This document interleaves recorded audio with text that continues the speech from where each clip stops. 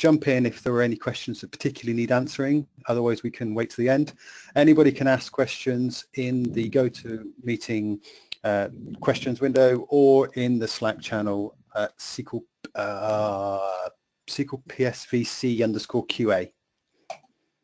And if you could uh, press the start recording button, uh, Stuart, once you are ready, we would That's appreciate it. recording now. We're up there and going. Excellent. We'll just minimise some bits so I can see my screen. There we go. I hide some bits. Right. Good afternoon or good morning or good evening to everyone, depending where you are. Um, yep. So today I'm going to be talking about backups, restores, and DBA tools, and also some general basics behind SQL Server backups, just to make sure everyone knows the issues you can come up with when you're trying to automate restoring. Um, you go, get PowerPoint working. Um, just my me slide. I've been doing this for about 20 odd years. Um, I run the East Midlands PASS chapter in the UK. I help run the annual SQL Relay series of conferences that happens in the UK once a year. Um, my contact details are there. Um, feel free to tweet or mail me if you get any I'm- questions I'm afterwards so- that we don't I'm so sorry, Stuart. I don't see your screen. Uh, Don't? Oh, Ah. I was just about to have to say that I'm, I'm on a very, very slow internet connection, so No, no. I don't. Turn- So Ah, sorry. I thought when Rob handed over. Sorry. Can you see it now? Thank you. I Yes, can see it now, yes, you. yes.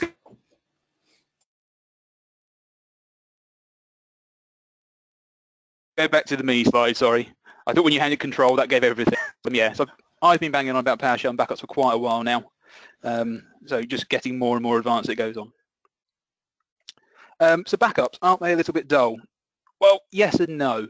A good backup should be simple to perform. Anything that's overly complex tends not to be that stable. It gets very fragile. They should be reliable and they should be trustworthy. But a good backup protects your job. In my opinion, the worst thing a DBA can do is to not be able to recover data. If it breaks, it's an unplanned outage if you can get it back and all the data is safe. The minute your business can't trust the fact they put data into this expensive database and they can't guarantee they can put it out at some point in the future, that should make them very, very nervous. In my mind, that's worse than it being down for a day.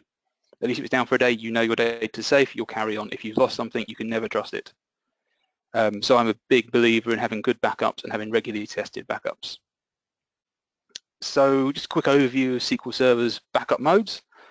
Um, there's three recovery models with SQL Server. With simple model, you're telling SQL Server you don't care about point-in-time recoverability.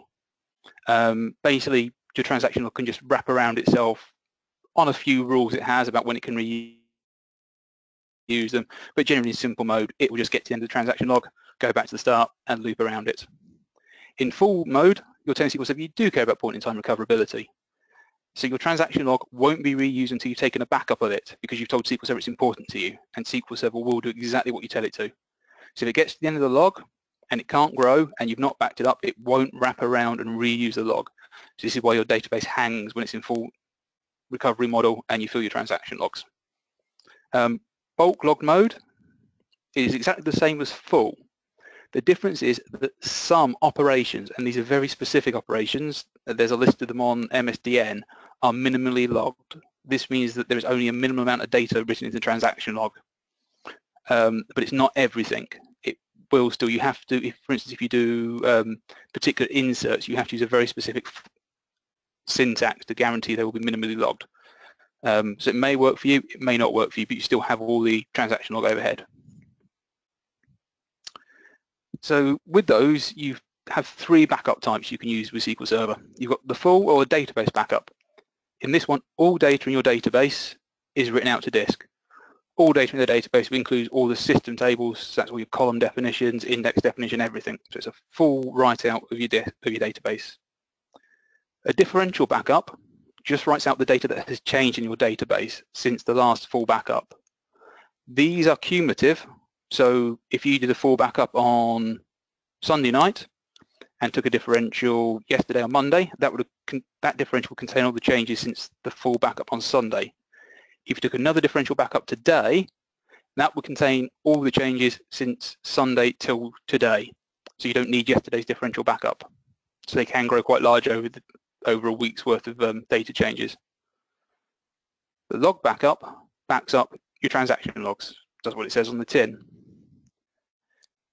Um, so full and differential backups only can work with simple mode. Log backups only work with full recovery model and bulk, bulk log recovery model. So otherwise, you're not storing anything in the transaction log. You're just wrapping around. So to restore to a point in time, you need the last full backup before that point in time, the last differential taken between that full backup and the point in time you're restoring to, and then all the transaction logs since the differential backup. Um, and if you're recovering a database that's failed, you also need the tail log backup of what remains that database's transaction log. That's a little about the scope of this presentation at the minute, I'm assuming you've got a running database. Um, if you don't have the differential backup, you can still run all the transaction logs forwards. It's just you might have a lot of transaction logs to run forward if you're running them every 10 minutes, every day, and you've got to restore seven days worth of them. It will take quite a long time. I've seen people struggle with that one. Um, one of the biggest things people don't see about backups until they dig under the hood is the LSN or log sequence number. As far as the SQL Server backup goes, SQL Server never trusts the file name or the write times on the files.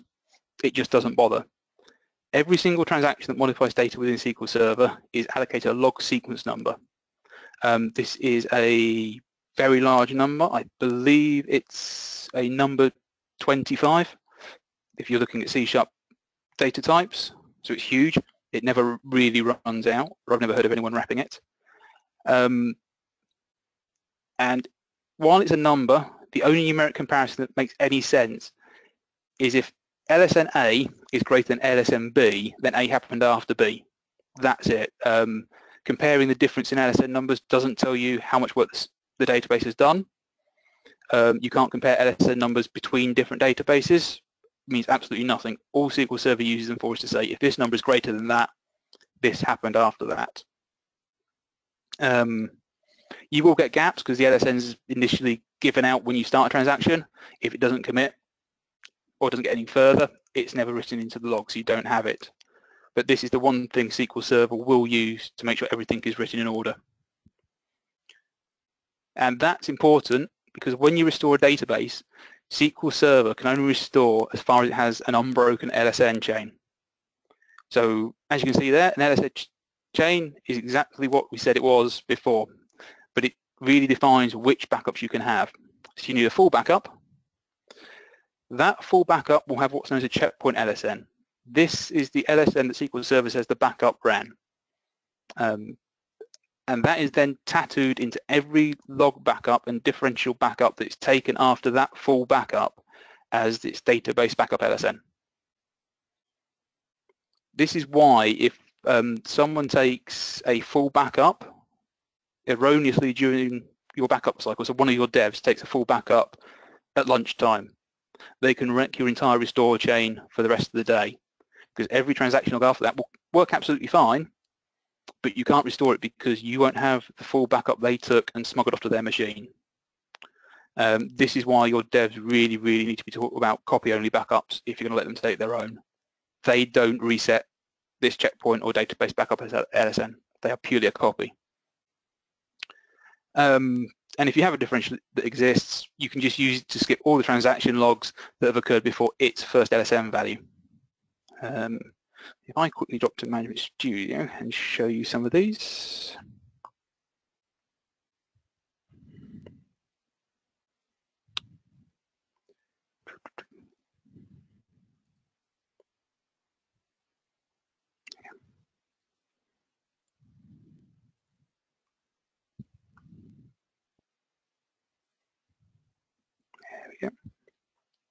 So this is um, the header of one of the files I'm going to be using in demo in a bit in a minute. Um, this happens to be a log backup. So here we can see the LSNs within the backup. So you have the first LSN, this is the LSN the backup started. Last LSN is the LSN where the backup completed. And database backup is that large number there. Is this a full backup? No, this is a transaction log backup. Um, the checkpoint LSN is the same just because the way I created the database. But this transaction log can only be restored onto the full database backup with that LSN. If you have one with a different one, then it can't be restored. That's how it breaks. Oops, go backwards. The only way to reliably guarantee you can read this header is using SQL Server's restore header only fun functionality. Um, I've tried to find some shortcuts. I wrote quite a long blog post on this just before Christmas. Basically, if you're not using compression or encryption, you can sort of do it. They're in a known place you read the file in bytes, then you can pick out these LSNs. But the minute it's compressed or encrypted, then you haven't got a chance. Um, so it's not reliable enough, so I didn't put it into the code that I'm going to show in a minute. So with that out of the way, going to move on to some demos. So I'm going to start with some backups using the new DBA tools functionality. So let's make sure I've got everything. So I have multiple copies of the module on my machine, so I'm just making sure I'm using the one I want to. So just to keep things nice and clean while I'm running through the backup examples, I'm going to use splatting with the variables. If you've not met this before, there's a really handy, neat way of passing in parameters to a function. So here I've just created a hash table with um, some key value pairs. So a key of SQL instance, the instance is going to run on, so it's a local SQL Express instance on my laptop. A database, this is AdventureWorks 2012 that I've run Jonathan Kehayias' um, make big script on. So it's made up to about half a half a gig, I think, it's size. So it actually takes some time to back up. And a directory I'm going to throw the backups in just so I know where stuff is to delete it. So if we just set that, bring this up, you can see some output. So it's simplest. You can see we just run a backup. You get a nice progress bar. It tells us where it's backing it up to. And that will just trunter away.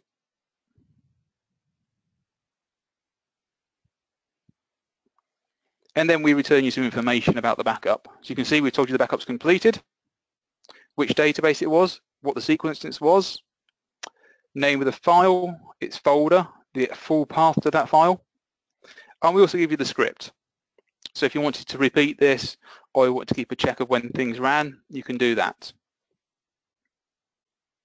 So that's all fairly simple. Um,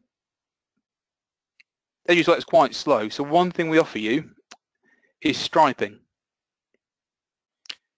SQL Server allows you to write out your backup files to multiple files. So rather than just writing to one large back file, you can write it to a number of files. Um, I think there's a limit of 64.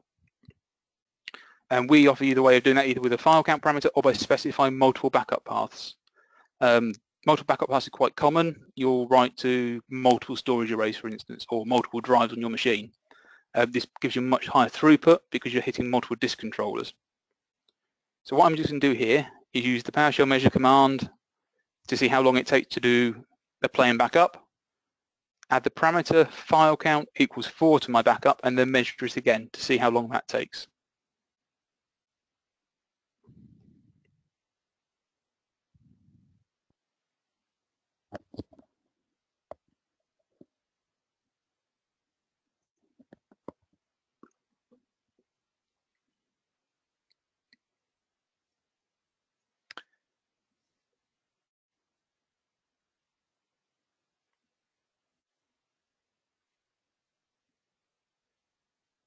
So a quick comparison, um, the first run took 14.3 seconds, the second one took 11.2.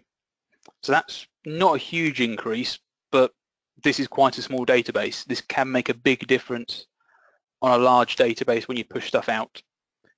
And we return, I'll just show you this. When you stripe with the file count, we automatically append one of X to all your backup files. So it's easy to see that they're all from the same backup and which ones they are. Because restore from a stripe backup, you need all the files. You can't get away with three out of four, you need four out of four. Uh, that's a hard and fast rule. So while it improves your speed, it can also cause you problems.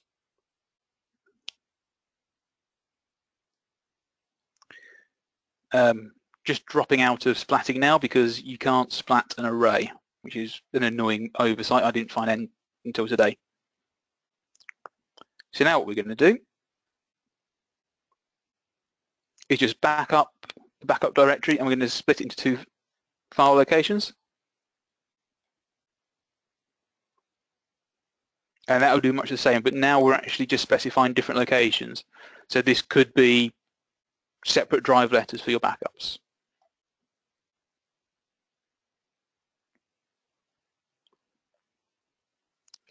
The other problem that comes with striping is that it goes at the speed of the slowest disk.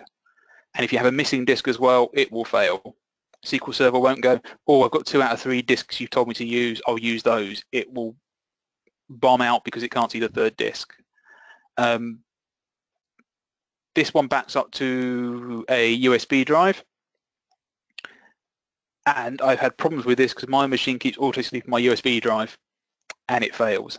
So that's there. If you want to run through these scripts, I'll put all the scripts up online afterwards. Um, if you want to run this yourself, feel free, but it's just my laptop sleeps my uh, USB stick. So that's it. So that's for backups. What about the other types? Well, we can take types of diffs. We can do a differential backup.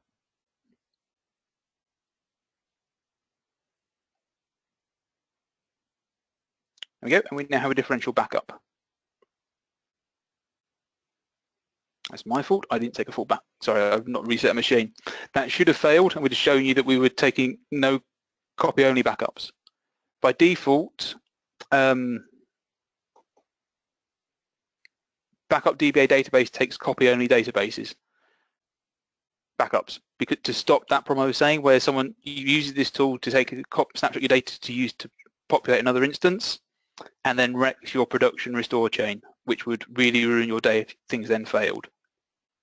Um, so what you have to do if you want to take a proper backup rather than a copy only backup is you just take no copy only true and that will then take it.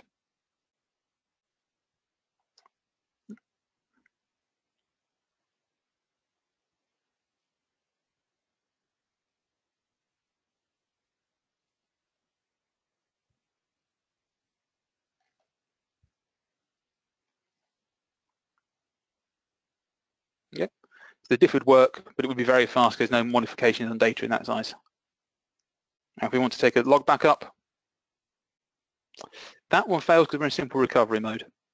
Disk can run there, so we, we could reset that up. So it will stop you, it won't allow you to take a backup that's not supported by the underlying database. The other option we use is that you can verify your backups. Um, SQL Server will write your backups out quite happily for you, but you have to tell it to then go back and check it. So with the verify switch here passing in verify true, it will do the backup and then it will restore verify only against that backup. Um, it doesn't restore the database back to disk, it just goes through and checks logically that all the data structure within the files and the backed up data make sense and this will then confirm back to you that it's actually been checked. If we run this,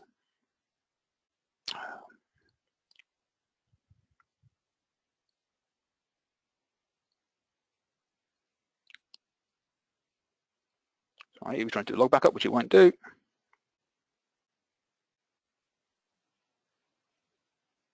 Sorry, and that red is because I tried to add a hash key value back in to one that already existed.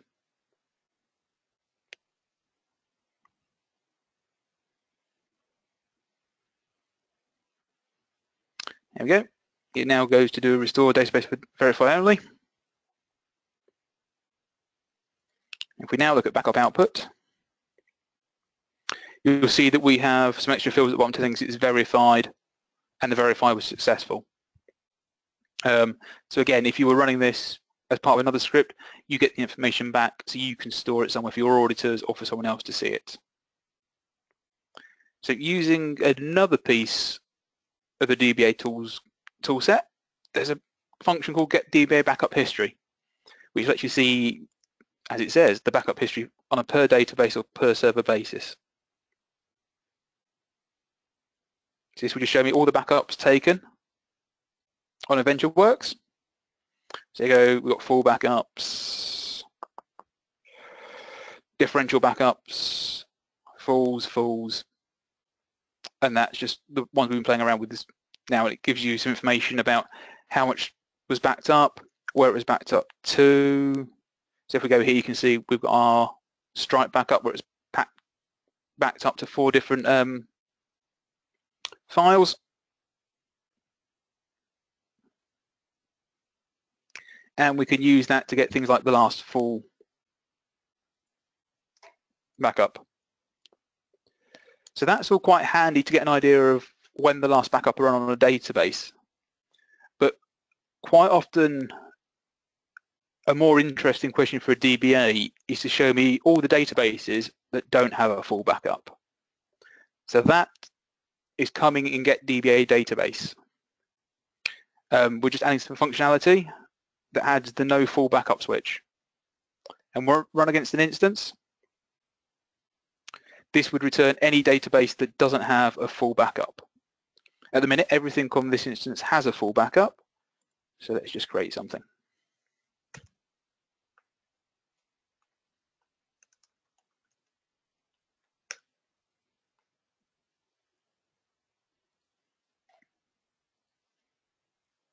There we go. We now have a database with no backup, called no backup, just to make life really simple.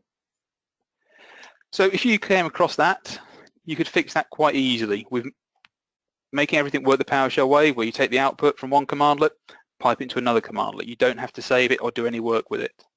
So here we just take that get DBA statement and pipe it straight into backup database. So you just put the backup into DBA tools backup, create a folder with the database name and to do a proper full backup. So no copy only.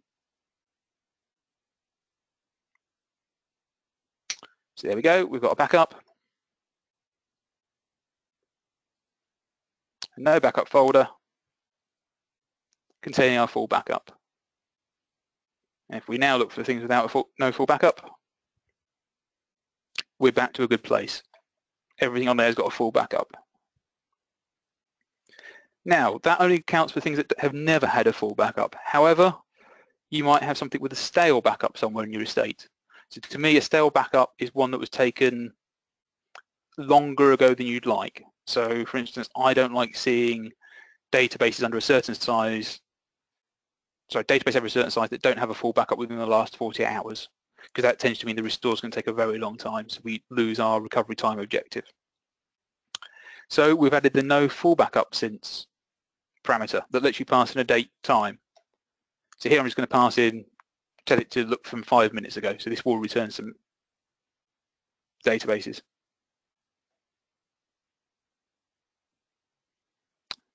So there we go, it's returning a lot of my test databases because they've not been backed up for an hour since I last ran through my demos.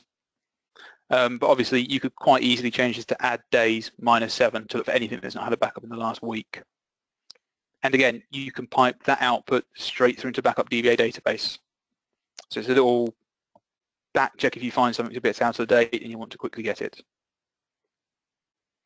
Okay, that ends backup. So now we'll just quickly go back to PowerShell for a couple of slides.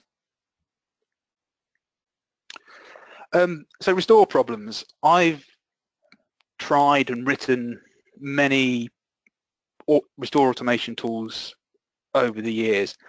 Um, you started off trying it in T-SQL. Um, as the description of this event said, I've been there, done that, got the T-shirt, and you run into lots of very fragile um, T-SQL statements that build themselves and XP command shell hell as things don't work quite the way you expect.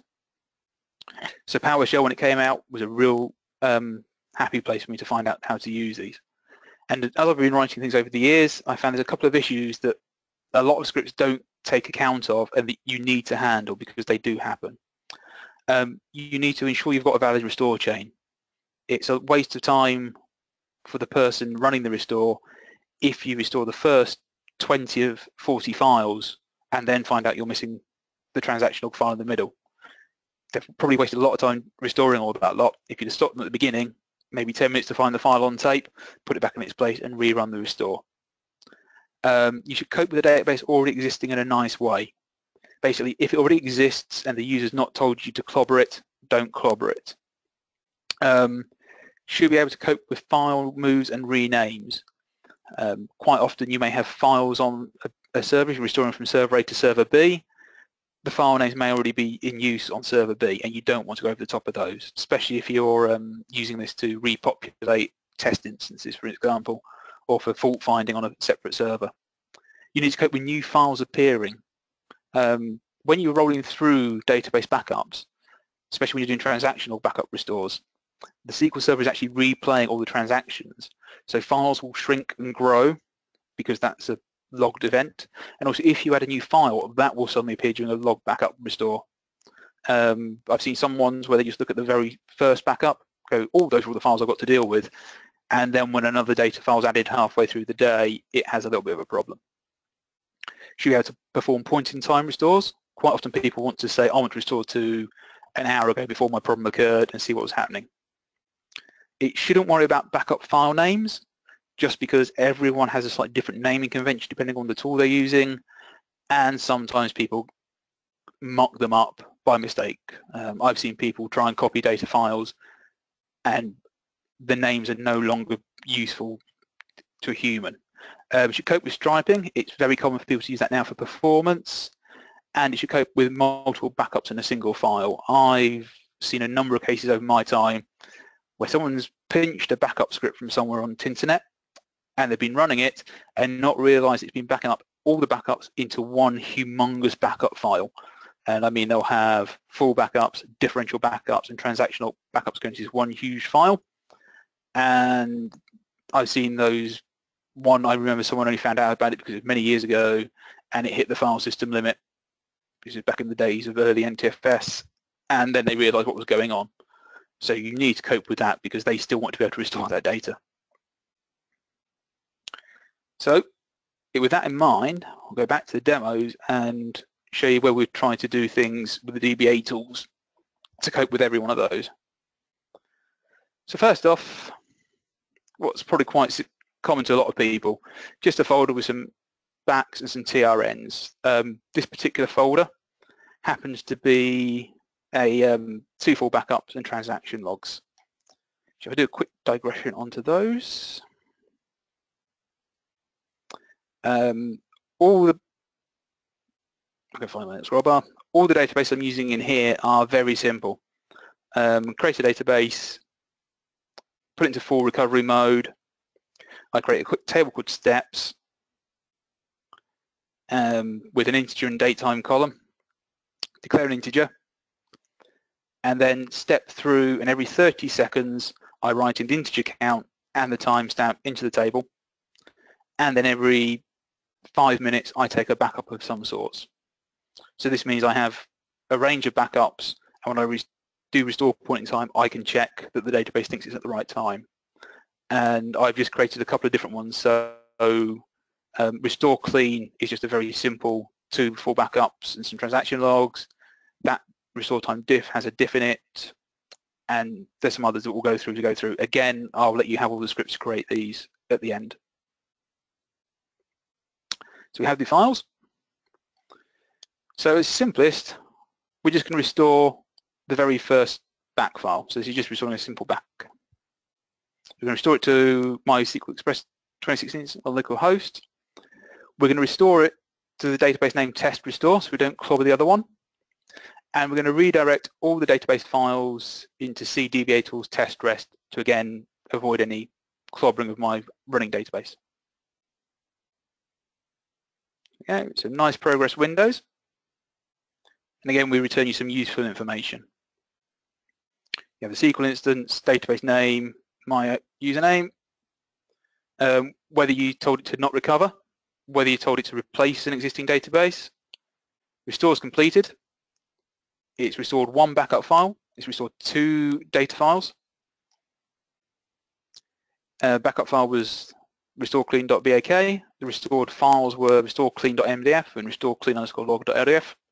Restored into CDBA tools test rest, and also we give you the T-SQL script to do the same thing again.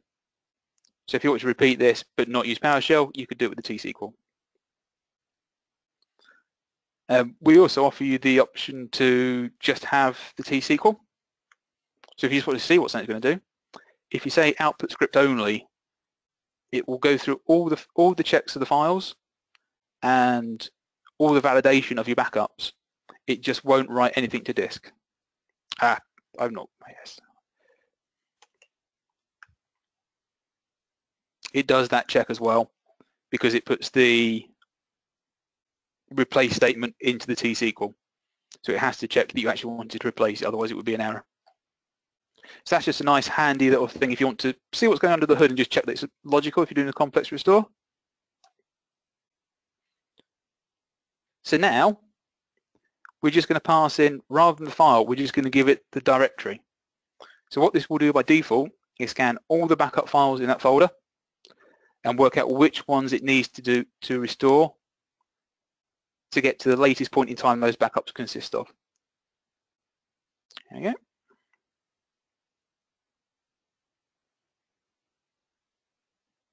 So for a quick look here,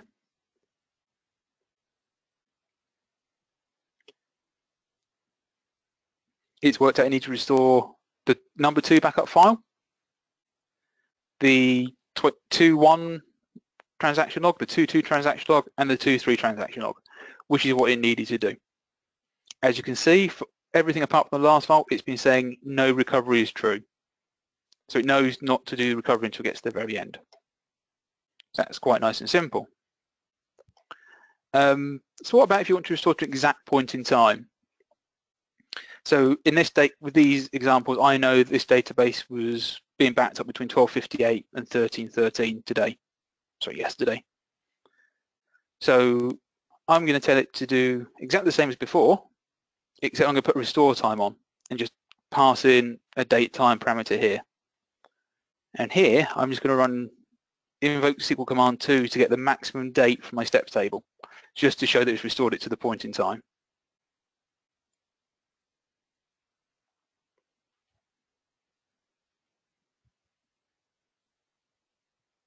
So there we go. That would be the closest it got because it drops them in every drops a row in every 30 seconds.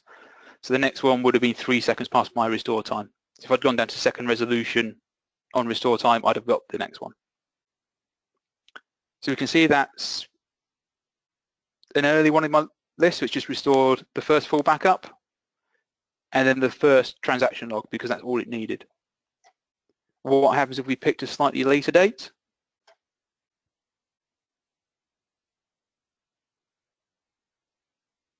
Again, the time marries up with the time I'd asked it for, but this time it's known to skip past the earlier backups don't scroll up too far.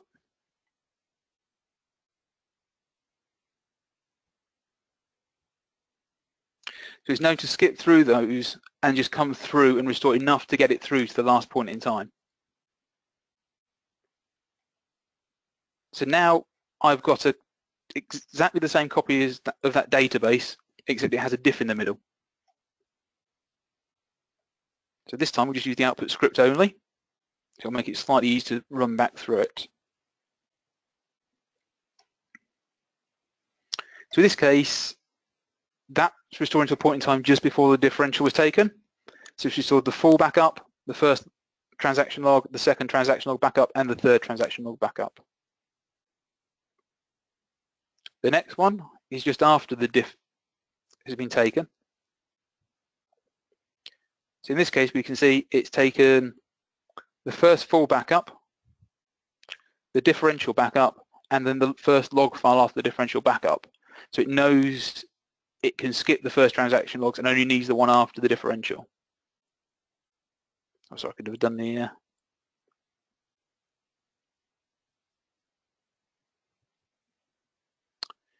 I know what that found.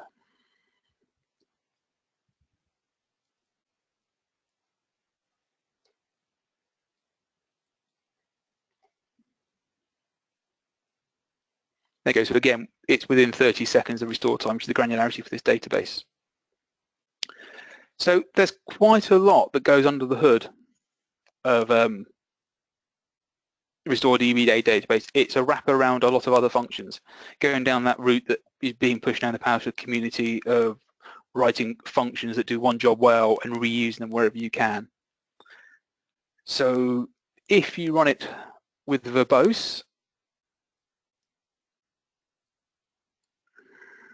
you'll get a lot of information as it goes through. You can see it starts from restore DBA database, goes to directory restore file to pick up the files, it reads backup headers, it filters them, it restores them. There are various tests and restoring database and filtered arrays.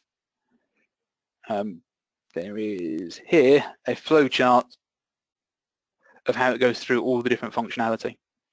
Um, and one benefit of move, moving to this architecture is that it's very quick to add new ways of looking at files or new rules. So if something else wants to be checked, we can very quickly add another function in here before we get to the bottom. Um, so one thing I was saying about this relying on the LSNs, just look back in here and restore clean. If we just set the last write time on get restore time clean to now.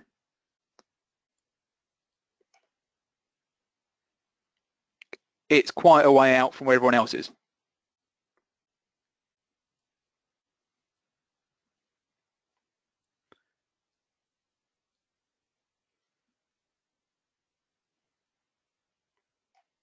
But the benefit we have is because we're not like unlike some solutions, we're not relying on the actual file's timestamp. We don't care. We will just blast past that file stamp and still restore it properly. So if you've had a file recovered back from tape and they've not got the file creation dates right, you don't have to worry. This will still sort it out for you.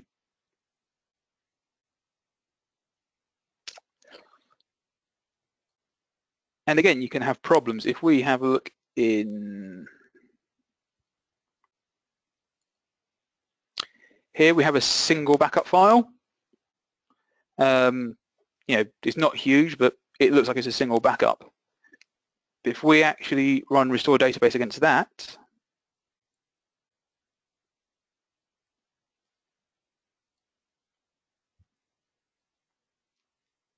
it's passed that single file and found out there's a full backup and a number, a diff file and then a number of transactional files in there that need to be restored. So this is where I say you can get this problem where people back everything up into a single file. They don't know about it, but they still want to be able to restore.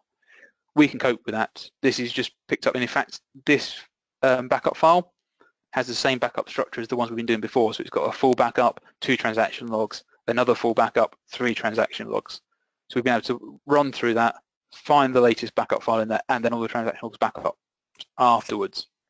Can I just say, hell yeah, that's super awesome and thank you. That makes it so much more convenient. That's I've, I've, I've gone into places blind when they've asked me to fix things and just found this terabyte and a half backup file and the database is two gig. And it's like, we need to recover it to yesterday and you need to pass it. So yeah, this is just making life easier for everyone. Thank you so much. Okay, so just take a sip of water.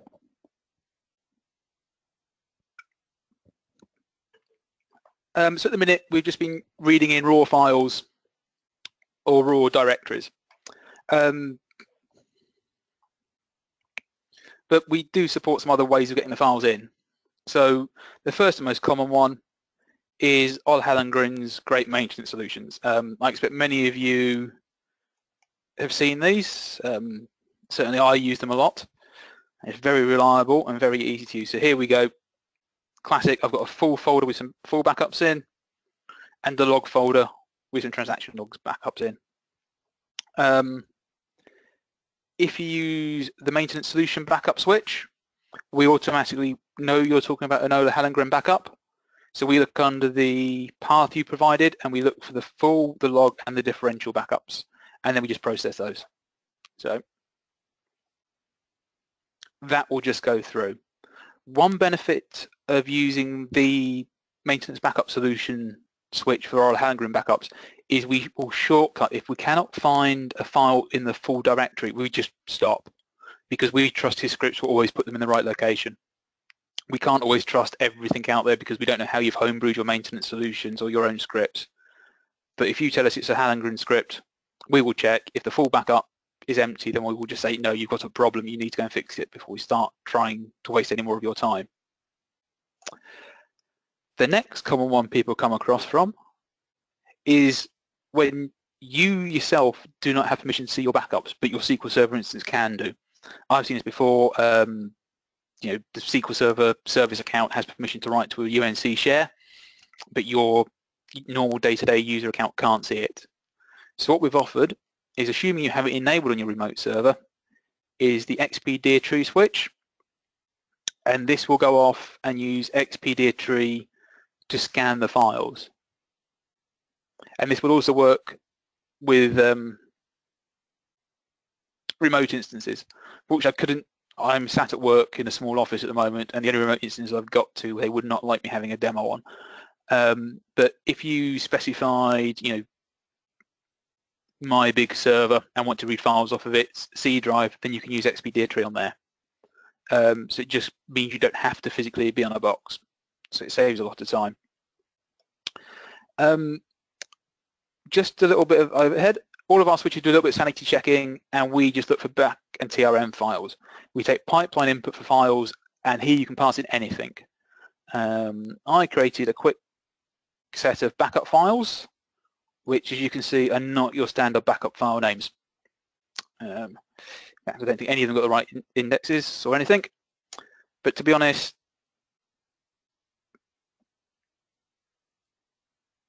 we don't actually care. Again, because we're reading the raw contents of the file, you can name them whatever you want and we will still pick them up and process them. So this is great if you've got a mass of files and you don't know what's going on with them. Again, if you're striping in multiple locations, we can take them in. Here I've just created some folders with some stripe backups in. Get child on the two.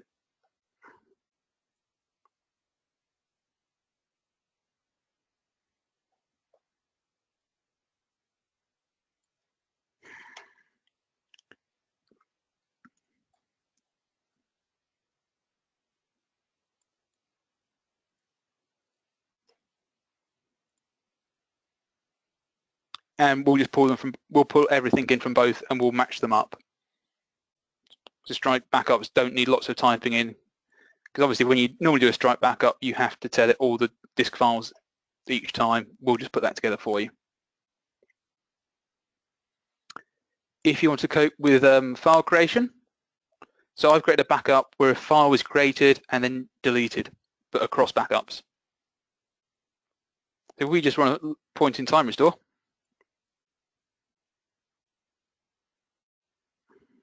I just thought that was going to be better.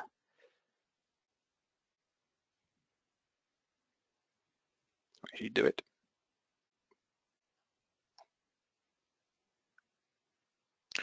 So you see, as we go through here, every time it's just restored two files, the MDF and the LDF. If we go to a specific point in time,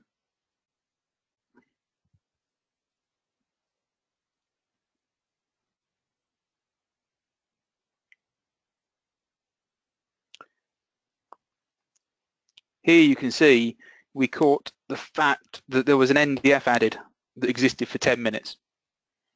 Um, and this might have been important. It might be someone quickly added an extra file to cope with some work they were doing, and that may be the bit of work that you need to go back and investigate. So you need to be able to restore back to that point in time. So again, we scan all the headers. We also get all the file information back so we can cope with things coming in and out. Um, and to stop you clobbering lots of things, he says, oh, conscious of the time, I'm just going to speed through some of these. um, you can prefix all your restored database files with a particular phrase. So here we're telling to restore all of them into restore time rogue file folder, but also prefix them all with restored. So you could pick a unique value for that or create your own timestamps. That therefore you've got no chance of clobbering existing backup, existing database. You can also pass in destination log directory, which will allow you to restore your log files into a different folder. So any log file that you're restoring, that will go in that folder. So if you've got separate drives for data and log, you can split them to your heart's content. Um, if you're moving between um, database instances, say you're doing an upgrade, so you're going from SQL 2012 to SQL 2016, um, you can tell it to use the destination default directories, which will query the instance, find out where the defaults are, and push your files into those for you. So if you want to give everything to C program files, Microsoft SQL Server, blah, blah, blah, blah, blah, this will work it out for you so you don't have to. Um, also, we're not bothered whether you pass in one database or many. So here I'm going to pass in two sets of database backups, one for restore time clean, one for restore time diff. I can't give a database name now because it wouldn't make sense with two databases going in, so we're just going to prefix them all restored.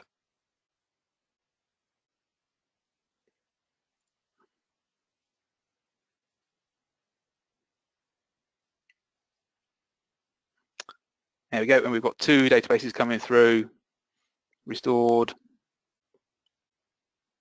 okay, restored, restored, restored, restored time diff, and restored, restored time clean. Um, and there's no limit. The only thing we have at the moment is every database has to have a unique name. I do have a cunning plan to get around that, but it's at the bottom of a very long list. So that's files, but going back to us passing functions across, uh, we can just take... a real quick note, Stuart, if you can hear me. Um, I Yes. think that backups and restores are so important that we will grant you additional time uh, if you have it. Uh, we do have a number I- of I- questions. Was that? Okay, Awesome. We Yeah, do have a number of, of questions, and even if the person who has asked the question uh, has to leave, uh, we will be, as you know, recording this session and putting it up on YouTube. So feel free to take as much time as you like, and we will get to the Okay. questions, and then we'll post everything up on YouTube. Oh, that that's brilliant. Thanks for that. And yeah, no, I've, I've finished for the day. I'm just lurking work 'cause it's got better networking than my broadband at home.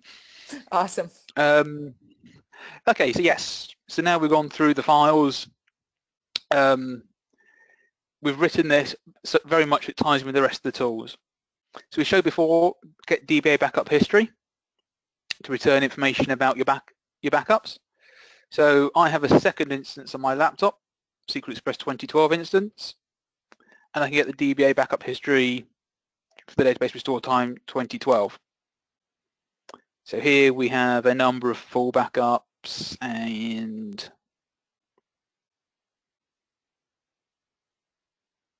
uh, type log backups and everything else. So that has a full backup history. So we can just pass that straight into our restore to restore it onto my local instance. Okay. So we've now restored from my 2012 instance straight into 2016. And we just get, we will still take, we can still do point in time restores. I just can't remember when that database was created. Stuart, real quick Now- before a lot of people have to go, um, uh, Yeah. someone is asking for your email address uh, so that they can contact you. Yep, certainly. I'll just type, if I just type it in here while people make notes. Everyone just grab that. Um,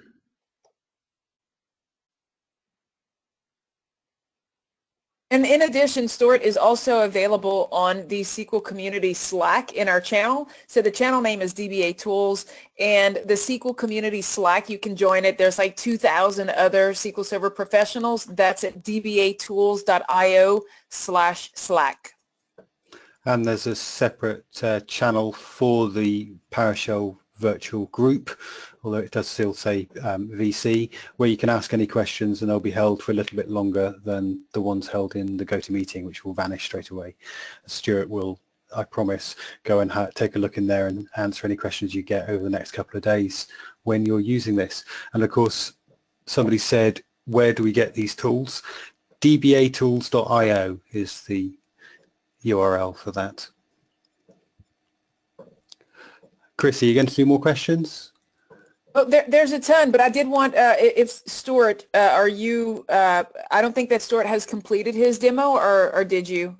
well, if he, uh, no, I've got, I've got a few more bits to go through, but obviously if people have questions and are about to head off, I don't mind doing a few now, then carrying on.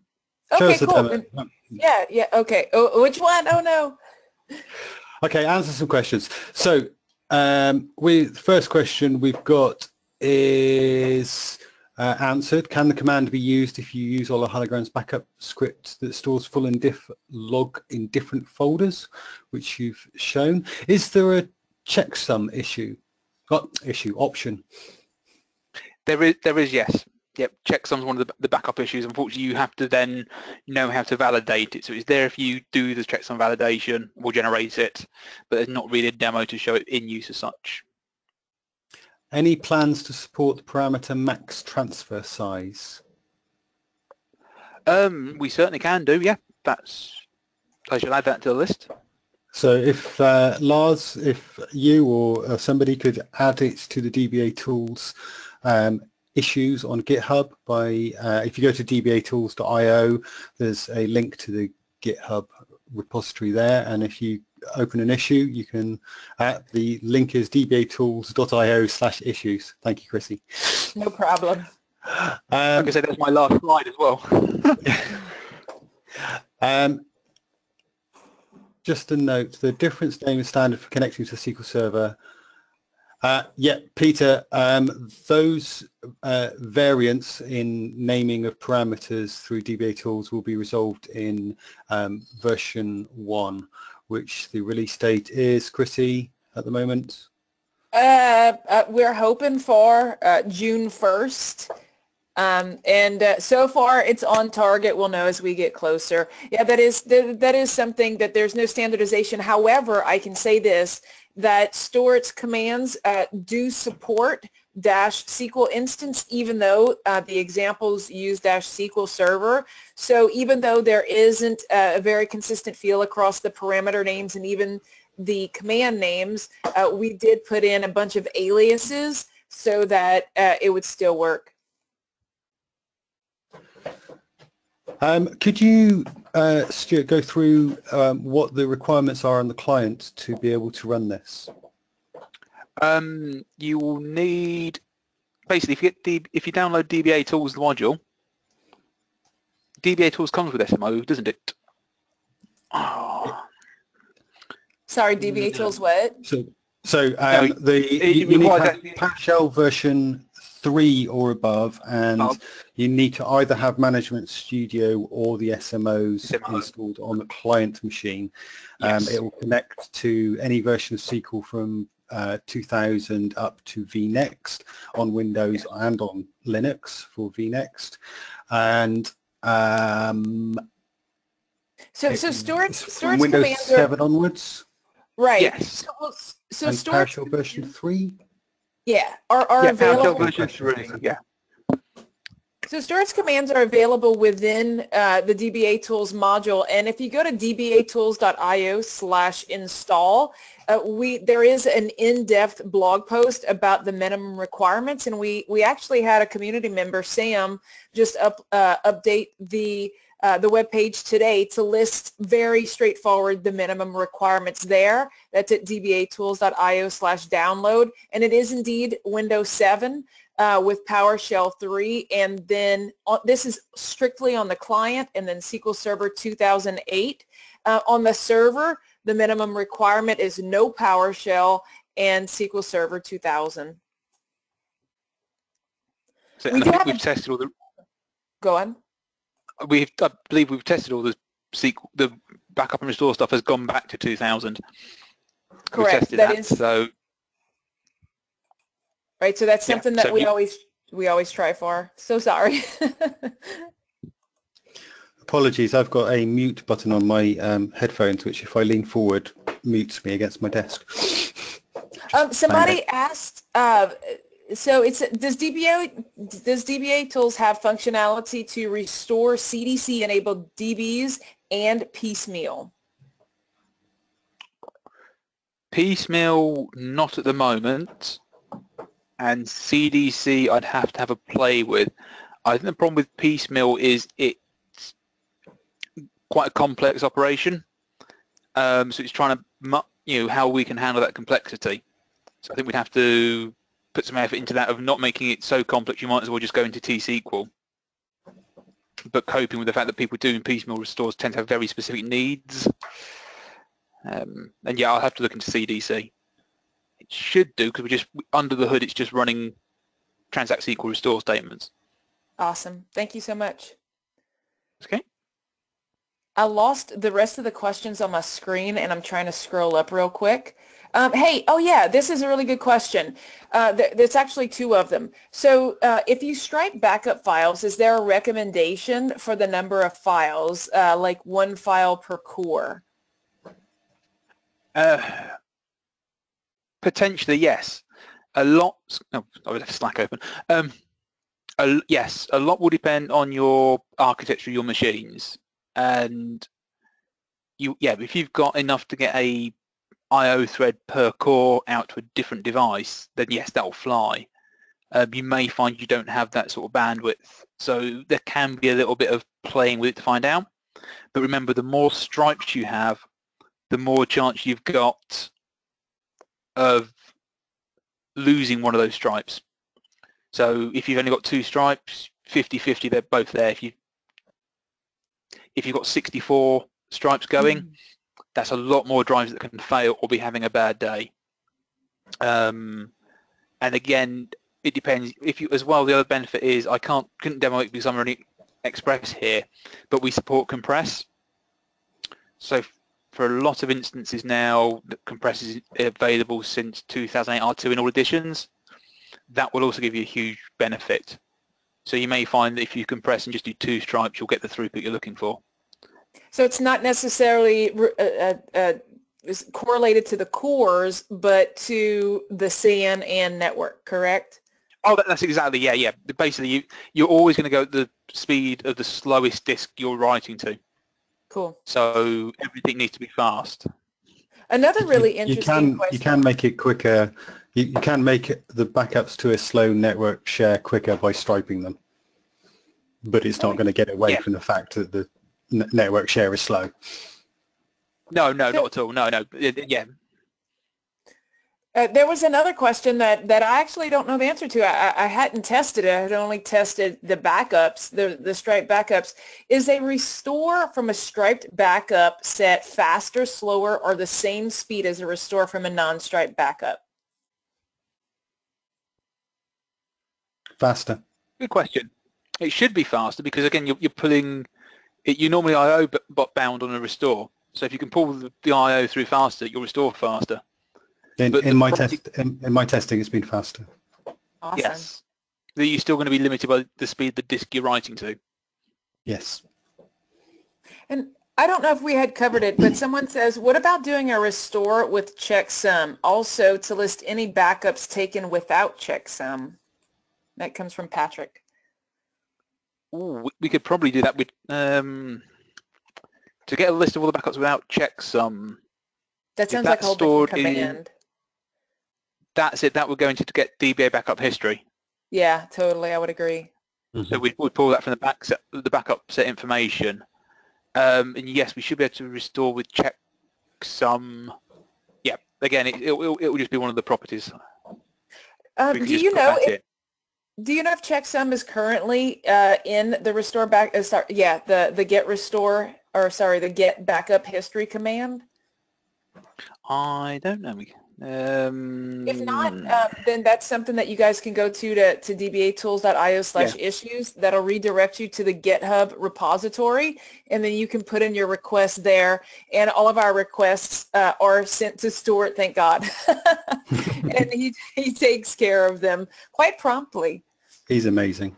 Stuart, uh, you might know the answer to that, this yeah. one as well.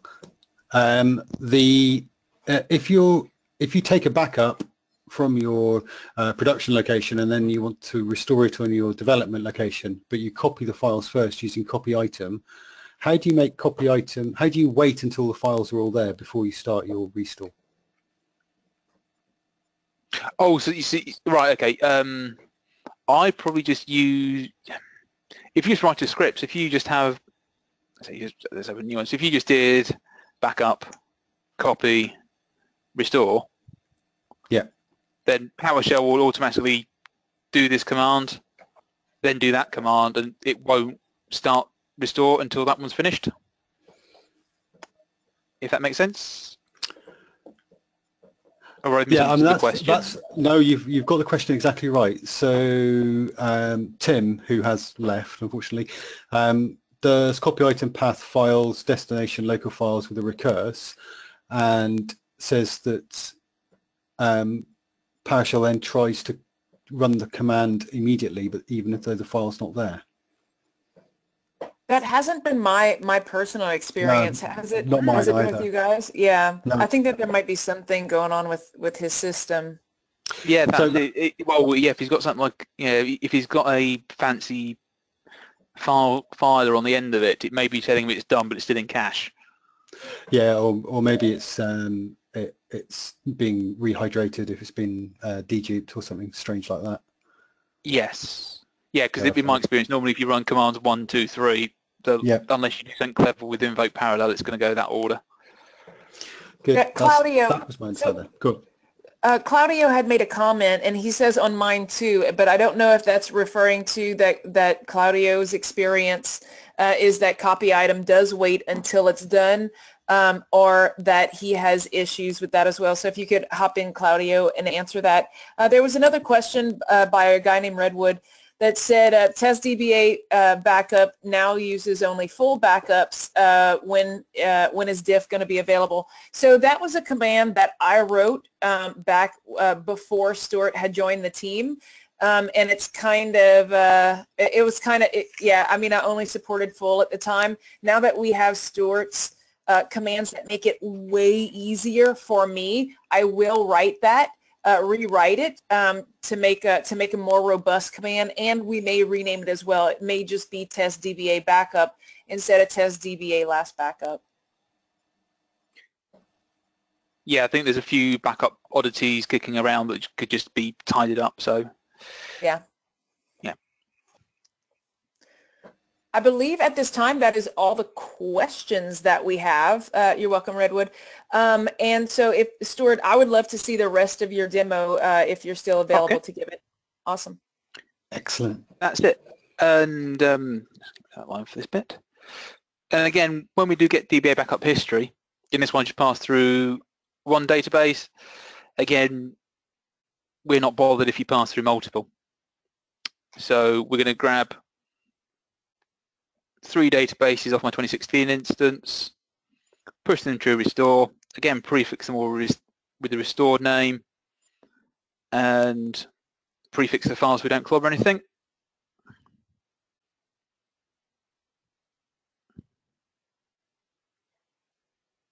Oh, and some orange text. That is always a bad sign.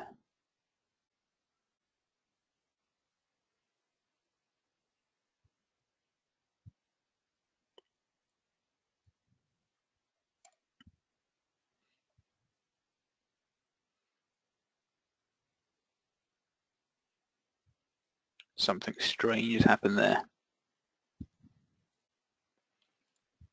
It's interesting if actually one of them failed, so I can just take that out and rerun the others.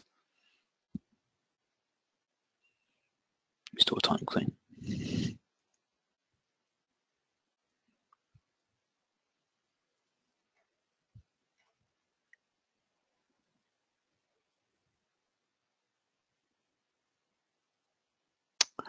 Oh,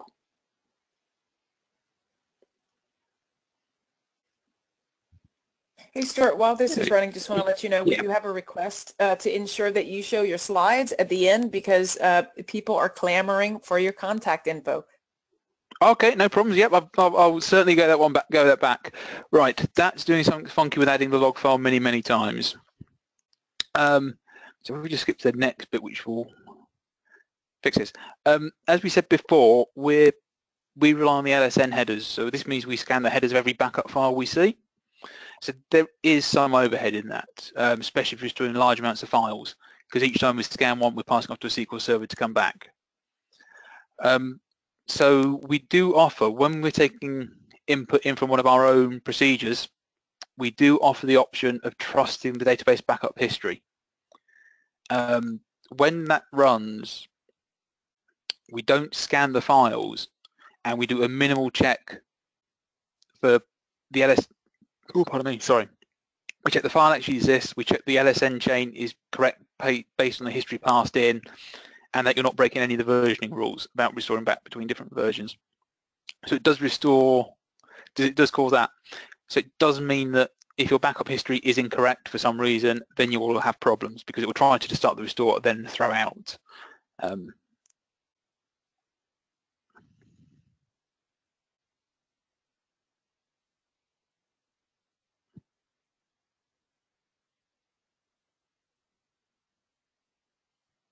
and that's worked.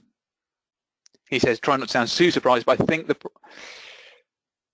it, so that will make a bit of a difference. It's not going to be huge. So here we're going to run the same query, um, one with trust DBA backup, DB backup history, and one without. Assuming this first one doesn't error.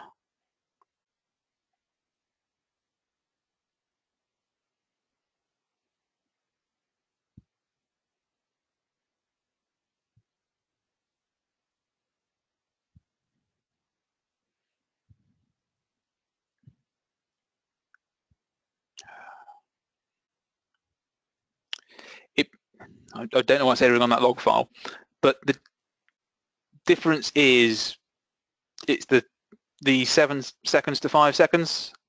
So on this, we're saving two seconds on the scanning the files, but these only have a couple of log files. If you've been running 10 minute log files 24 hours a day, five days a week, that's going to mount up into quite a big um, saving. You can also take the output from backup DBA database and push it across. So perhaps you just want to duplicate a database um, for your devs. They've asked for a copy. So we're just going to back up a database and push it through. So here we can take restore time clean, restore it as restore time clone, push the files into locations,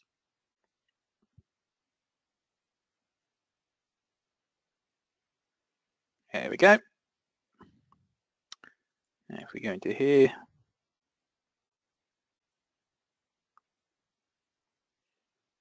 yeah, we have a nice restore time clone database already for the devs.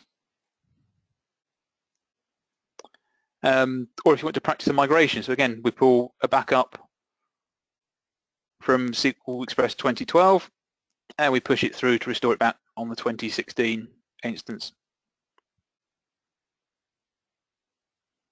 Okay. Now these, where you're pushing it between different instances, there is a reliance that you can see the same storage on both instances. Um, so obviously this is all on my C drive, so it's not a problem. But if you were restoring from server A to server B, you'd need to make sure you're backing up to some shared storage that both instances could see. And the good thing is because we only use copy-only backups by default for the backup DBA database, there's no impact on the original database's restore chain. So you can just run this. You'll impact because you're taking up I.O. obviously, but you're not going to break your restore chain. You can just clone it across quite quickly. Um, and of course, this is DBA tools. Why are we're going to stop with just one? Let's back up two databases and push them across to a new instance.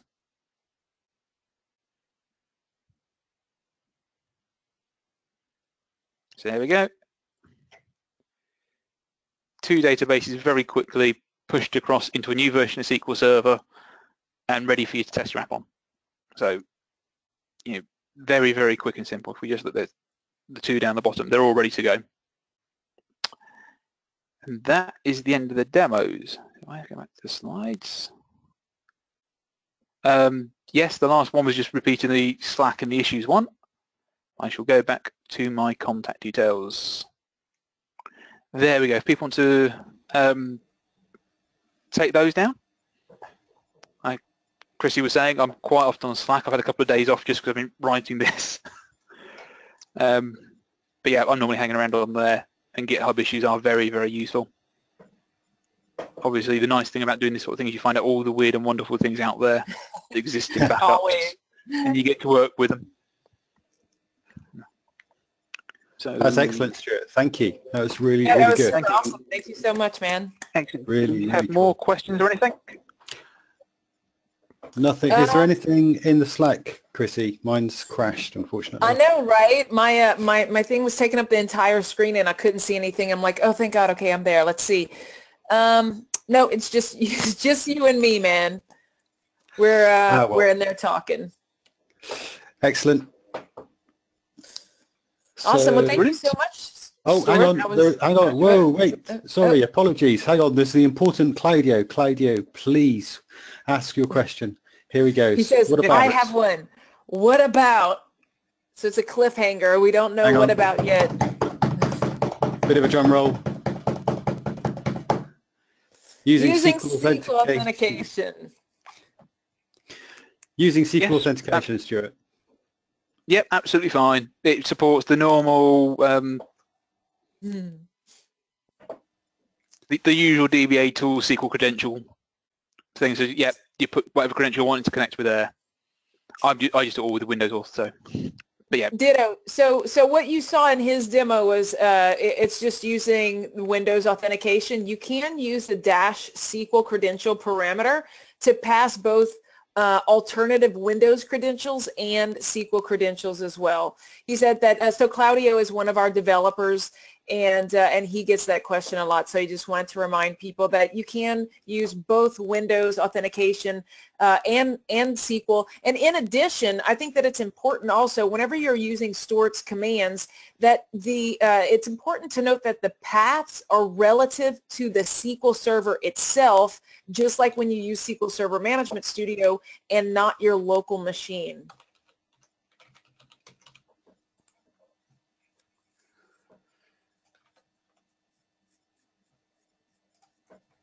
So someone asked about managed service accounts.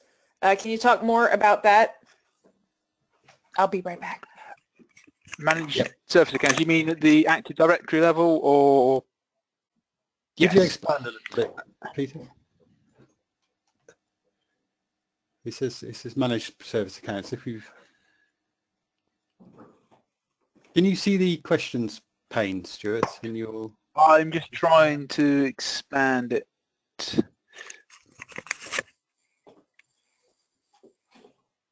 Uh, it's right. I- for for some reason on mine it's absolutely minimal. Okay, it says uh, managed service accounts is a special AD account. So um, I'm Yes. presume...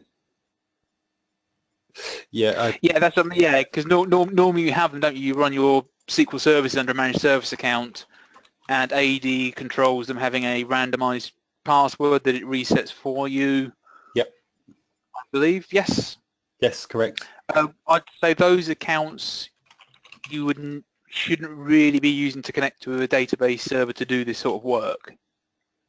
Because one, you shouldn't know the password. That's one of the points of them Mhm. and two, it's bad form because you don't know who's running the command. Um, it's like a lot of things. If everyone logs in as administrator, you don't know who dropped the database. So people should have an account you can trace, just so you've got accountability. Yes, I totally agree. Um, Claudio yeah, says... Um, Peter says if you if you're doing automation, you might want to use them. I, I think you would use them for set it for running your SQL Server, and you would make sure the permissions were there for you, to your backup Yeah. share. I suppose, yeah, but uh, I I, suppose if wouldn't you use did them want for doing the backups. Um, yeah, I suppose if you did want to use it for your backups, you just get you just assign that the permissions to run your job, and then it, that, your Windows authentication would just take over. So running scheduled task, I don't know if you can assign the permissions to that user, um, and then yeah, that should just pass it through. Um, Claudio says, how deep can you go in a folder level for the restore and the backup command, or the restore command, I presume? Um, with our default file readers, if you just give it a directory path, it only scans that folder. If you give it Hallengren, the, sorry, the maintenance solution backups of other scripts, it will recurse only into the full, the log, and the diff folders. XPDS tree currently um, recurses down the entire tree. Um, so everything under the folder. And obviously because you can pipe in the output from GCI, so get child item, you can go as deep as you want. There is nothing to stop you piping in the entire C drive of a machine. It'll probably sit there for a long time scanning all the files and kicking out the ones that aren't SQL backups, but you could do it. Um, I, I, I've done. I've I did this. Eat, what I was dog fooding this when I did some migrations earlier this year, and I recursed into 102 folders, all containing Hallengren type backups, to migrate stuff across cluster instances, and it didn't mind doing that. It just takes So- some time to process the files. Yeah. Crikey. Um, is it possible to ship the SSI SDB in the backup restore function? You My could certainly was- Yeah, that you can do it, but it it it totally boned a couple of my uh, my upgrades um, because it didn't Yeah. set it didn't set a specific bit back. Um, you know, that was like, hey, this is some sort of system database, and so my my SP update didn't recognize it. It tried to update it, and uh, and it yeah, it was it was tough. Yeah, exactly my experience. It's a different beast. It looks like a database, but you need to have CLR enabled and all that sort of business, which does not carry across. Uh, Um, I'd ju- just like to say it works with um, Linux as well. I've just run a test and apart from my databases with um, the wrong sort of characters in them, um, it has backed up my databases successfully on Linux SQL as well. Yeah. Oh, cool! Yeah, I, I I never didn't guess even that's probably, test that's probably yeah, that's probably SMO playing up. I'd have thought. I just I just pass in what SMO wants. Um, Um, but yeah, going back to SSISDB, Chris is putting in a request for an enhancement to do system databases.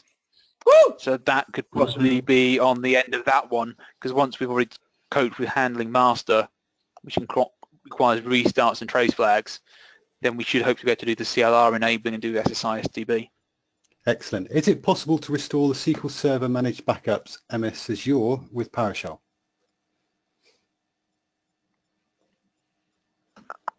Don't know. Again, that that's one thing that's on my list of things to do, is to investigate that and how we can talk to Azure. Uh, you know, obviously, if- if you've got Azure stood up in a VM out there, it's no different as long as you can get access to it. Um, but the actual SQL Azure stuff, I've not looked into too deeply. Ditto. We do have a, a new team, a team member um, who is working on some of the Azure stuff, uh, so we can pass that information on to him as well, because I would be curious. I know that I was really disappointed when just jumping into Azure in, in general. I thought that, oh, I could just back up and restore, and then it wasn't that at all. Um, and so that would be really convenient for both Linux and uh, Azure if we could take care of that for people. Yeah, that's. Yeah, because definitely at least the backing up and restoring from Azure storage now will need doing, but there's some stuff under the hood that needs doing. So that's the server has to be configured to know all the security keys, and then it becomes easier. But yeah, there's a lot of that initial setup. So I think that will be you know almost a separate piece of work because we've got the plug and play architecture now. It should be able to bolt it through. Totally.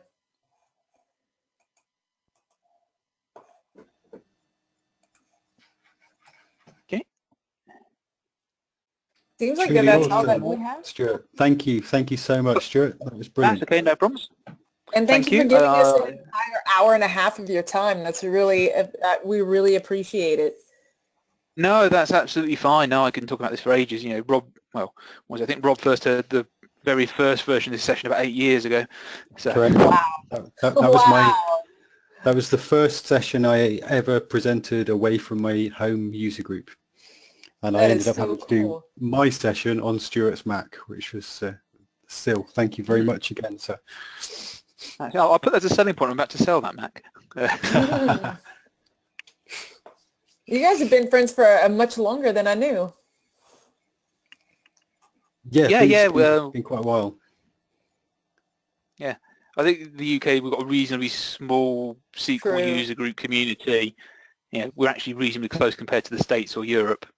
So I will Mhm. drive down to Exeter and back for a session. And I know Rob was up last week for a PowerShell session in Nottingham I forgot about. In fact, less than 50 metres from where I'm sat now. Oh no! Hmm. right, can somebody press stop recording and we will All right. wrap I will this be one up? Oh, yeah, and I, and I, and it, it- fortunately, this this week uh, it's been a lot better um, as far as our our video and audio uh, quality has has gone. So I don't think that I'll need your session, um, Stuart, but please do convert it, and then I'll let you know if it if it didn't come through for me. Yeah, I'm just So trying to find out where, it, where it's gone. It'll Uh, it'll pop up once the uh, once the webinar has completed entirely. It'll pop pop up and say, "Do you want us to convert it now?"